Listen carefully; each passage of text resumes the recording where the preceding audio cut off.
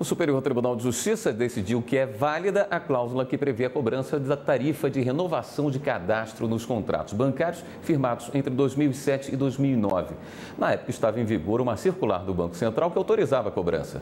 O repórter Rafael Porfírio tem mais informações. O caso chegou ao STJ depois que a defesa do Itaú Unibanco recorreu da decisão colegiada do Tribunal de Justiça do Rio de Janeiro, que aceitou o pedido do Ministério Público do Estado.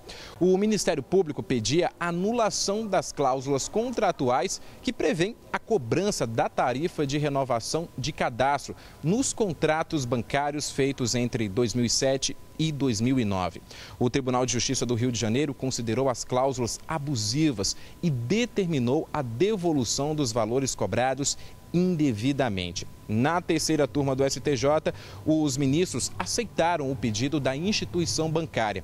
O relator do caso, o ministro João Otávio de Noronha, ressaltou que, em julgamento de recurso repetitivo, o STJ já reconheceu a legalidade das tarifas bancárias, desde que elas sejam acordadas de forma clara no contrato e conforme a regulamentação.